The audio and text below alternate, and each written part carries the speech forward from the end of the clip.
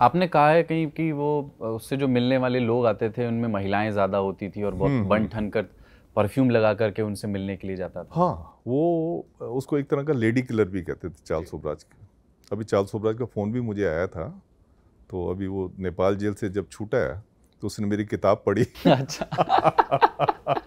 तो वो कह रहा था क्योंकि मेरी किताब के ऊपर आगे फ़िल्म भी बन रही है। जी। तो वो कह रहा था कि मैं इसको प्रमोट करने के लिए आऊँगा और किताब को प्रमोट करने के लिए भी आऊँगा। मैंने कहा भैया आ जा बहुत अच्छी बात है तेरी ज़रूरत है।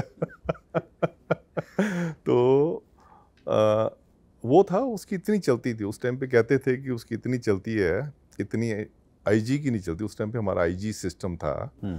कहते थे इतनी आईजी की जेल में नहीं चलती जितनी उसकी चलती पर वो क्या मतलब वो सिर्फ़ पैसे की ताकत थी या इन्फ्लुएंस कोई कुछ कुछ खास लोगों से ज़्यादा पहचान थी। इसका देखें क्या था कि इसको लेडी किलर कहते थे। और मुझे कई बार लगता था अगर मैं भी लेडी होता मैं भी उसके उसमें झांसे में आ जाता। एक चार्म था उस उसका चाम था उसका बात करने का स्टाइल का चाम था। शक्ल उसकी भगवान की दी हुई काफ़ी सुंदर थी और जैसे गोरे चिट्टे और विदेशी जैसे नैन नक्श होते हैं बड़े शार्प नैन नक्श वो थे। उसका क्या था कि उसके ऊपर उस टाइम दो तो मर्डर के केस चल रहे थे। बाद में मुझे पता चला रेप के थे। वो उसको लेडी किलर इसलिए कहते थे कि उसने अपना मेन जो कार्य क्षेत्र जो है गोवा रखा हुआ था।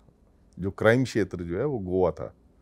गोवा में जो फॉरेन फॉरनर लड़कियाँ आती थी हम्म। उनके साथ वो दोस्ती करता था। और मैंने आपको बताया था ना कोई भी लेडी जो है वो मैं कहता हूँ इम्प्रेस कर लेता था उनको। किसी भी लेडी को इम्प्रेस कर लेता चाहे वो बूढ़ी है चाहे जवान है चाहे लड़की बच्ची है सबको इम्प्रेस कर लेता था। मैं कई आपके बड़े बड़े जर्नलिस्ट के नाम जानता हूँ जो उसके साथ जिनके रिलेशन थे। बहुत जर्नलिस्ट बड़े बड़े सीनियर हैं अभी भी हैं। तो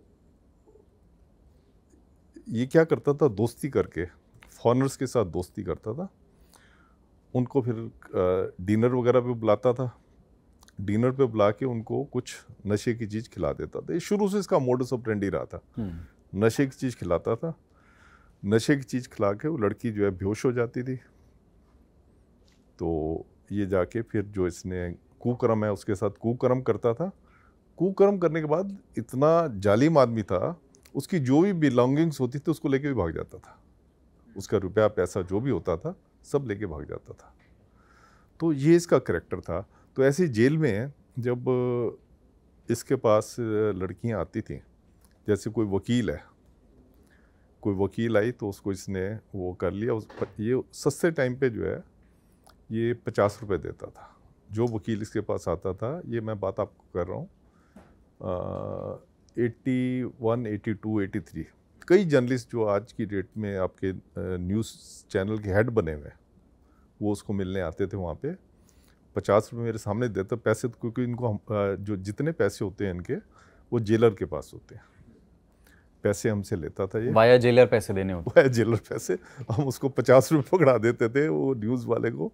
वो जाके फिर अगले दिन हम देखते थे अखबार में खबर छपी हुई थी होती थी कि चार्ल्स सोबराज आज कोर्ट में गया और आज की ये प्रोसीडिंग हुई ये सारा उसमें अखबार में लिखा हुआ होता था।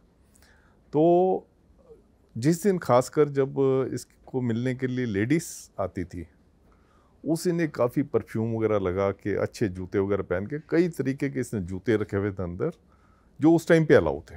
अच्छा।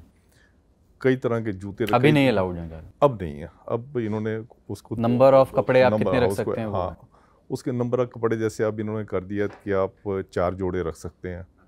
उस टाइम पे आप जितने मर्ज़ी कपड़े रखो आपको कोई वो नहीं होती थी। तो ये जो है, जब किसी लड़की ने आना होता तो मैं, क्योंकि मैं उस टाइम पे डिप्टी सुप्रेंट था और मेरे कमरे में ही मुलाकात होती थी। तो ये उनको जो भी आज प्रेस वाली आई या दूसरी आई तो उनके पास बैठता था और अपनी स्टोरी वगैरह जो है, अपनी जो भी इसने कहानी कहनी होती थी कहता था और सेंट इतनी तेज़ लगा के आता था कि इवन जो मैं दूर बैठा होता था मेरा भी नाक जो है उसमें वो हो रहा होता होता था कैसी सेंट लगा के तो अलग अलग सेंट ये लगा के आता तो बहुत ज़्यादा इसका लेडीज़ के लिए तो बहुत ज़्यादा अट्रैक्शन था और बहुत सारी लेडीज़ इसको मिलने के लिए, कोई कॉलेज की प्रोफेसर होती थी, वो आती थी, हैदराबाद यूनिवर्सिटी की प्रोफेसर होती थी, वो आती थी, क्योंकि लेडी चार्मर तो था ही है।